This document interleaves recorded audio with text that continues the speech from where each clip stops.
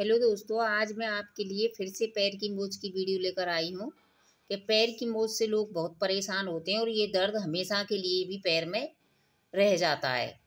अगर आपकी पुरानी मोच गई हुई है तो उसके लिए आप मेरी और वीडियो देख सकते हैं। ये मैं तुरंत की मोच का वीडियो बना रही हूँ। देखिए, ये बेलन से मैंने मोच का वीडियो पहले भी डाला था कि बेलन के द्वारा आप पैर की मोच तुरंत में घर पे कैसे ठीक कर सकते हो। किसी भी अनजान व्यक्ति से आप पैर को कभी भी ना छिड़वाएँ, अन्यथा आपके पैर में हमेशा के लिए दर्द रह सकता है। ये देखिए, ये हमारी एक पड़ोस की लड़की है, इसके पैर की मोच गई है, सारी नसें खड़ी हुई, हो चुकी हैं इसकी, क्योंकि पैर में काफ़ी दर्द होता है। अगर थोड़ी देर हम इसकी मोच को ठीक नहीं करेंगे तो इस पर पूरे पैर पर सूजन आ जाएगी, और इससे बहुत दर्द होगा। और बाद में मोच को ठीक करवाने में जब टाइम लग जाता है तो ज़्यादा दर्द होता है। आप पूरी वीडियो को अच्छे से देखें तो आपको समझ में आएगा कि आप घर पे अपने पैर को कैसे ठीक कर सकते हैं। ये देखिए, आप इसका पैर इस साइड में ऐसे मुड़ा था तो इसको यहाँ से मोच इसकी डिस्टर्ब हुई है। ये देखिए, यहाँ से। और इसमें बहुत ज़्यादा दर्द हो रहा है और ये देखिए, यहाँ से थोड़ा, यहाँ थोड़ा गड्ढा हो जाएगा आपके। आपको लगेगा कि इस जगह से कुछ डिस्टर्ब हुआ है, स्वयं पता चल जाएगा।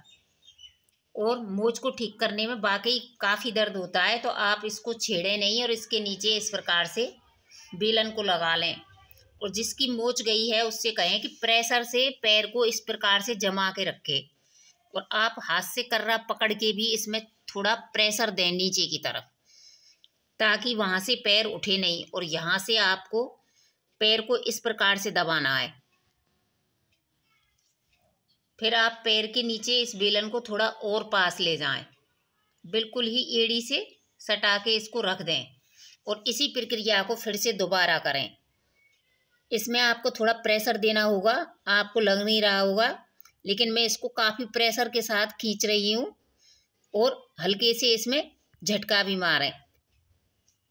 इस प्रकार से आप दो तीन बार इस पैर को यहाँ से बीच में और लास्ट में तीनों जगह से आपको इस प्रकार से करना होगा। पैर को एड़ी को अधर ना होने दें। ये प्रक्रिया आप करें।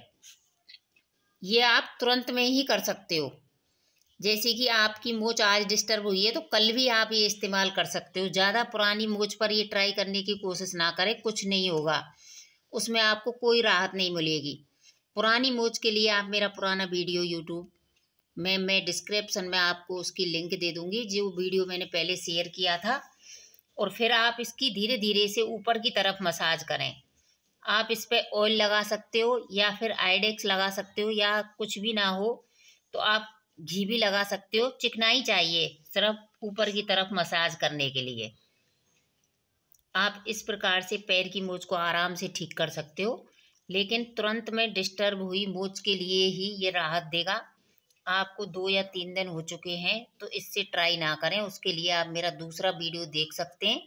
या फिर मैं जल्द ही आपको और दोबारा से भी वो वीडियो शेयर करूँगी। और सभी उंगलियों पर इस प्रकार से थोड़ा दबाव डाल के इन पॉइंटों को भी दबाएँ और उस पेशेंट से बोलें कि थोड़ी देर के लिए, एक दो घंटे के लिए पैर को ज़्यादा ऊँचे नीचे पर ले जाकर कहीं पर भी ना घूमें। अन्यथा ये मोच उसकी दोबारा से भी डिस्टर्ब हो सकती है। तो आप हमारे चैनल से इस प्रकार की जानकारियों के लिए जुड़े रहें। हमारी जानकारी आपको अच्छी लगी हो तो हमारी वीडियो को लाइक करें, शेयर करें और वीडियो को एंड तक देखने के लिए बहुत बहुत धन्यवाद।